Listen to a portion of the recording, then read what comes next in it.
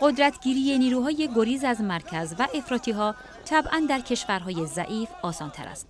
معاون رئیس جمهوری اندونزی هم هنگام افتتاح کنفرانس بین المللی درباره تروریسم و حکومت اسلامی گفت بین ضعف دولت مداری و قدرتگیری تروریسم رابطه مستقیمی وجود دارد.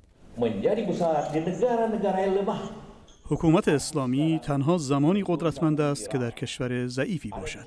همکنون این پدیده در کشورهای ضعیفی مانند عراق، سوریه، لیبی و نیجریه پا گرفته است و ضعف دولت مداری این حکومت ها خطر بزرگی برای جامعه بین الملل به وجود آورده است.